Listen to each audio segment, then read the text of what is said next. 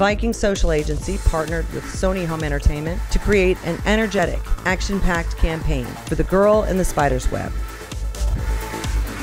We produced nearly 20 pieces of creative using motion graphics incorporating technology to promote Claire Foy's stunning performance as Lisbeth Salander. With a badass female lead, our creative connected with devotees of the book and film series, action crime enthusiasts, and fans of stories that dive deep into the dark criminal underbelly of cyberspace. Our inspiration came from the film's portrayal of the jagged sister sister relationship between Camilla and Lisbeth, as well as Lisbeth's technological savvy, which enables her to defeat her enemies with sophisticated hacking skills throughout the entire series.